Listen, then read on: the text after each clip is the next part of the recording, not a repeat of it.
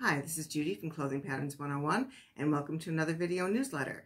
Today we are going to be talking about sewing gifts with the um, gift giving holidays coming up, most notably Christmas of course, but there are so many other opportunities to uh, uh, give gifts, um, especially at this time of year. You may have a friend or family member that you want to give a gift to, who somebody who sews, um, or maybe you want to give a gift to yourself. That's perfectly fine. We won't tell. So I just wanted to um, go through some things that uh, either items that I have received as gifts and enjoyed or things that I would give as gifts. And the reason I'm doing this right now also is because next week on Tuesday, October 13th is Amazon Prime Day. And a lot of these things uh, or similar items are available on Amazon Prime. So it'd be uh, an excellent opportunity to save some money on some of your gifts as well. So this is not, uh, these are sewing gifts. This is not uh, related to pattern making. Uh, of course, the site is mostly about pattern making, but I assume that you also sew or that you may know somebody who sews. And um, it's it's nice to give a little gift once in a while. That's uh, this is an opportunity to give someone something that is, or give yourself something that is just a little bit nicer than what you usually have. There are utilitarian items that we use all the time in sewing. But this is a chance to give something that's either just a slightly better quality, let somebody move up a, a step in terms of the quality of the um, uh, the products that they use, the tools that they use, or simply to um, something that's fun, something that's more decorative, prettier, more fun than what you ordinarily see or would use on a daily basis. So I'm going to start with scissors or shears I think there's a difference between the two. Um, I think it has to do with the length of the uh, of the blade, but I'm not sure. Now this is just a, utility scissors. These are the super cheap kind that you find usually in the office supply section of a store, of you know, discount store or whatever. These are fine for paper and you should have some for cutting patterns. This is not a gift. This would be uh, the fabric version of that with plastic handle. These are the Fiskars. Uh, they're good scissors. They are very good scissors. They're probably what you bought yourself when you first started sewing. Uh, they're a little bit less expensive than the stainless steel scissors. And this is actually what I would recommend when you're first starting out. You don't know how much you're going to enjoy this, how much you're going to have time to do. So I wouldn't invest in really expensive scissors starting out. I would do something with a good quality scissors that isn't that expensive. And that would be something like this. But if you want to upgrade or if you want to help somebody else upgrade as a gift, get a nice pair of stainless steel scissors. These last longer.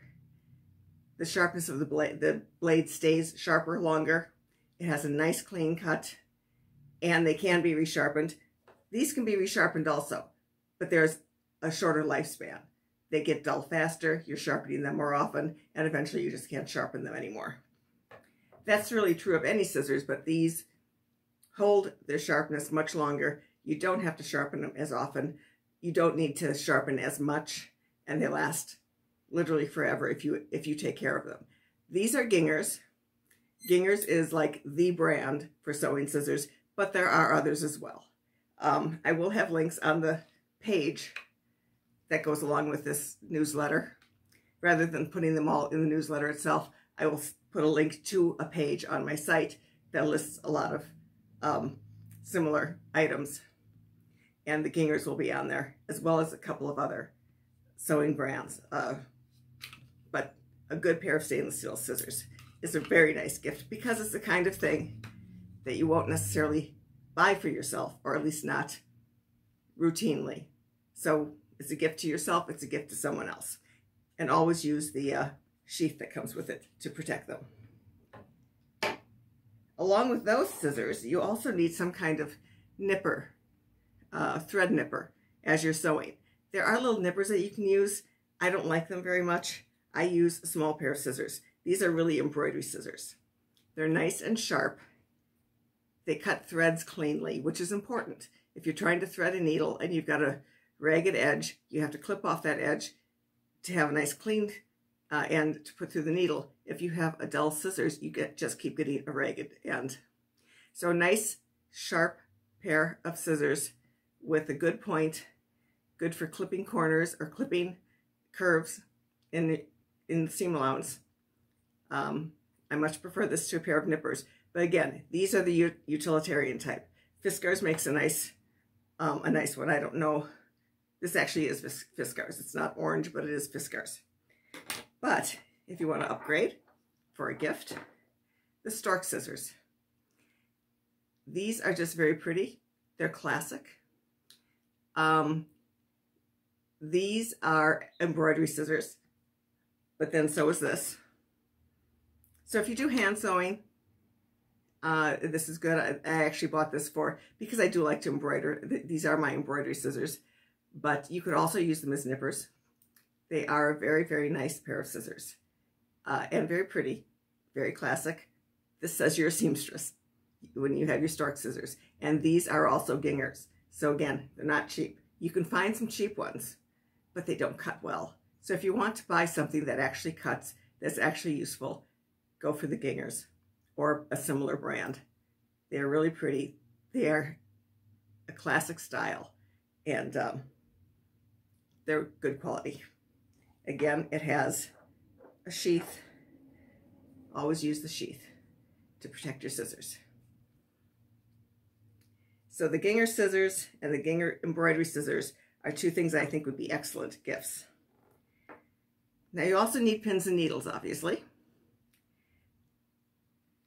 I'm sure you're familiar with classic tomato pin cushion. Uh, these are very handy to have. Uh, uh, you can get other things, magnetic pin trays and so forth. I like those as well. But for a pin cushion, this is sort of the classic. It's somewhat decorative, but it's also very ordinary. This is one, and it's a mess because I've had this for years, but this is one somebody gave me. And I love it. It's huge, um, but I like the little, it's, it's of an oriental, sort of Chinese style with all these little guys hanging on to the edge. Uh, you can see I've loved it to death because a lot of them are missing their, their little pigtails. But um, this is a really handy uh, pin cushion. I have pins, needles, safety pins, everything in here. I actually do not recommend putting needles in a pin cushion. I do it out of habit. It's a bad habit to have. Um, but I always keep a piece of thread in the needle because if you take the thread out, you're going to lose that needle. You can't tell the difference between a needle and one of these smaller silk pins. And um, they get just get lost very easily. They can get pushed all the way into the pin cushion. It's really just not a good idea. But here is a nice pincushion. And this is one I did find on Amazon that I just love. It's a little hedgehog. Once you put the pins in, you've got all his, all his little uh, spiky, um, all those little spikes on his back. And it's just cute. I mean, it's just a pincushion, but it's really cute. So this is one of those little grab bag or stocking stuffer gifts. It's just a really cute little pin cushion. Handy, but still, it's cute. Why not do cute if you can? For needles, there are needle cases. This is a very pretty metal one. Now you'll see I have actually these things on a ribbon. You can put it around your neck. For hand sewing, it's handy to have this on a ribbon around your neck and then you can pull out your, your scissors as you need them and find your needles. Again, mostly for embroidery, but um, any hand sewing, that's good. This, you twist off the top, and there are your needles. This is a very pretty needle case. Kind of uh, Victorian-esque. It looks kind of Victorian and it probably is reminiscent of something that would have been used around that time. A very pretty needle case. Uh, you should keep your needles in something like this rather than in a, in a pin cushion. As I said, the, pin, the needles, uh, especially if you don't have a thread through the eye, the needles can get lost in a pin cushion. This keeps all your needles together and keeps them safe. But there's another one that I did find that I think is really cute. It's this little lipstick looking um, device. And it's, I just think it's, it's a really cute, very girly, obviously, but it's a cute little thing. This would be, again, a great little grab bag or stocking stuffer gift. You pull the top off, twist it up, and there are your needles. I believe it's marketed as a pin cushion, but um, it's great as a needle case because you can have all different sizes of needles in there. Uh, and because they are set into the cushion, you can tell the difference. If you just simply had a lot of sizes of needles and something like this, you'd be digging through all your needles to find them. I use that other kind of screw, uh, screw top case if I have a bunch of needles of a particular size. But this has a bunch of different sizes. It actually comes with the needles. So this is very handy as a needle case and very cute. And it keeps your needles uh, clean. It keeps them from getting rusty. Uh, it keeps them separate. It keeps them from getting lost, most importantly. And it's just fun to have. So this is one I would definitely use as a um, as a little gift. Then, again, for hand sewing, you need a thimble. Not everybody uses the thimble, but I do. And of course, you're familiar with the ordinary thimble, metal thimble. Now, you can find really fun decorative thimbles that are totally useless. This is a cute little cow. I'm from Wisconsin. We have cows. So um, I bought this more as a souvenir. It's fun, it's cute, but it's not something that you would ever actually be able to use. It's not, it's not useful. I do collect thimbles when I travel, and so I like things like this, but it's not useful.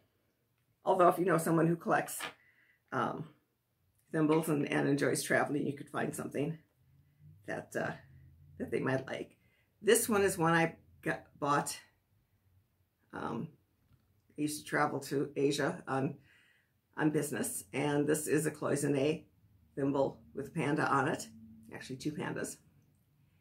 Uh, and it does pretty much fit my finger, and it is useful. It is, it's it's a thimble. It's a little thick because of the cloisonne, but it is a useful thimble. So if you travel, that's something you might think of looking for uh, for yourself or for friends. This is one my mother brought me after a trip to um, Mexico. It's very long and skinny at the top. It would be good if you had a long fingernail. Um, but even if you don't, it is a useful thimble. And it has a pretty kind of filigree edge and so forth. It's obviously very tarnished, but I kind of like the tarnish. But uh, this is this was a gift from my mother from a trip to Mexico. So thimbles are something that are useful and can also be decorative and um, again, a cute little gift. Tape measures are something you use. And of course, you're accustomed to the yellow tape. This one, I think, uh, has inches on both sides, but it does have centimeters on one side as well. Find these everywhere. But you can also get these retractable tape measures. And this one has a crocheted cover that's uh, an orange kitty because I'm a cat lover. So somebody gave me this as a gift. It's handy. It's it's not something I use a lot, but because of its size, it's something that I can carry in my purse. Um, I do use it when I'm when I'm shopping. I can measure things. I can measure clothing. I can measure the size of um, a frame. Uh, uh, I can measure the size of uh, something that I may bring into my house. I want to make sure it will fit in the, in the space where I want to put it. So it's, it's handy to have a tape measure. And this is, it's just a cute version of it. And then you press the nose and it retracts. So these little retractable tape measures are available everywhere, but there are some cute versions. And I do have a link for a couple of those. And then you need a place to put all this stuff. So you need like a sewing box. Now this is my sewing box. And, and again, for hand, especially for hand sewing, when you need to sew on a button or do a, a quick repair, um, I use my, I keep my sewing box in my living room, actually on a shelf in my living room, and I grab it at any time I need to do some kind of repair. Um, I don't, I've had this so long, I honestly don't even know if it was designed as a sewing box or if I simply turned it into one. But since it has a quilted uh, little, it, it is lined in this uh, red silk-like fabric. It's probably poly, but um, it is lined and has a quilted uh, lining on the top, which is a good place to put pins and needles. So I do think it was designed as a sewing box. it is just, it, it came just um, empty at the, at the bottom. I actually created some trays to go inside to keep things a little bit more organized. Not very, because I'm not very organized, but this is just cardstock covered with uh, fabric and hot glue. So, but they fit inside, inside the box. But I use, I have used this for probably 30 years and it, it is inval invaluable to me. I think everyone should have a sewing box, if only for those quick repairs. Scissors, needles, couple spools of thread, maybe some extra generic buttons, shirt buttons, whatever, so that if you need to replace a button, you can do that. But just about anything can be a sewing box. This actually is one I use for some uh, beading or something. But um, just a decorative cardboard box works fine as a sewing box. These you can find certainly at Joann Fabrics, probably Hobby Lobby, other, um, you know, sewing stores or um, craft stores, that kind of thing. They have so many of these these days. Again, it's just cardboard. This one does happen to have a latch. So it opens, it has a handle. Again, it's just a big open box. You would probably have to put um, smaller containers inside to keep things organized. But it's pretty and it's functional. Very pretty little box that you can use for sewing. You can use it for any number of things, but it would make a great sewing box. And of course, sewing centers like Joann's have actual sewing boxes. But you can use a lot of different things. And I think the actual sewing boxes are quite often boring. so I like some of these others better. This one is another one I have laying around my living room. This actually was um, a handbag. Back in, I think, probably 80s or 90s, these wicker handbags were, were popular. And obviously they're very rigid, which is why I don't find them all that useful as a handbag. But it's a very nice, very small sewing box. And again, it's just open. It does have a lining, so you can use it for needles.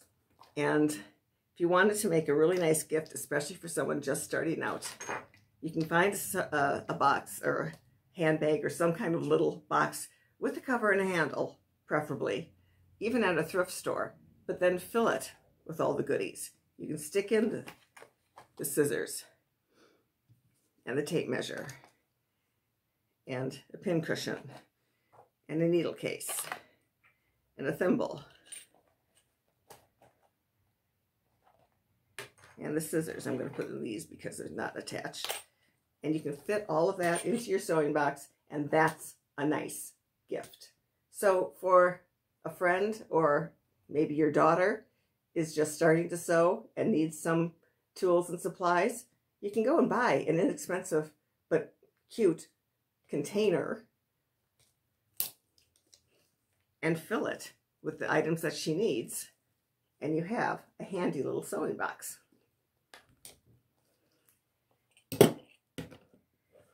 And then there are the things that are not really practical, but are simply sewing related. This is just a little clock. It's a sewing machine, eh, you know, a clock in the, in the shape of a sewing machine.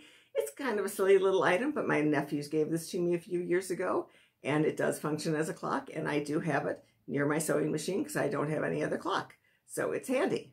It's very handy to have and it's cute. And actually, I brought this to work one time, uh, one place where I was working, and um, everyone loved it. So a little item like that can be a nice gift for a sewing person.